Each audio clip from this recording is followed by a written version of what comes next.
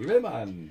Der erste FC Nürnberg hatte lange Probleme bei Jan Regensburg, bis Kevin Möwald in der 78. Minute einfach mal abzog und mit einem Flachschuss den einzigen Treffer der Partie erzielte. Der Club mit sechs Punkten und 4 zu 0 Toren an der Tabellenspitze. Regensburg wartet noch auf den ersten Punktgewinn. Jetzt gibt es noch zwei weitere Spiele in der zweiten Liga. Kräuter Fürth gegen Bielefeld. Die Partie ist genau zwei Minuten alt. Es steht noch 0 zu 0 und Aue gegen Düsseldorf. In 90 Minuten wird dann bei der Fußball-Europameisterschaft der Frauen das Finale zwischen Dänemark und den Niederlanden angepfiffen. Bayern 1 hält sie natürlich auf dem Laufenden. Sehr wahrscheinlich gibt es bei den Leichtathletik-Weltmeisterschaften in London heute die erste deutsche Medaille. Siebenkämpferin Caroline Schäfer ist nach sechs Disziplinen Dritte, hat aber im abschließenden 800-Meter-Lauf beste Chancen auf Silber.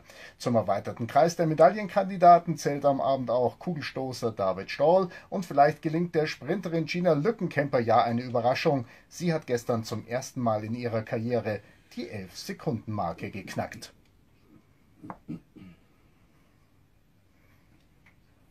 Präsentiert den Bayern 1 Live-Ticker.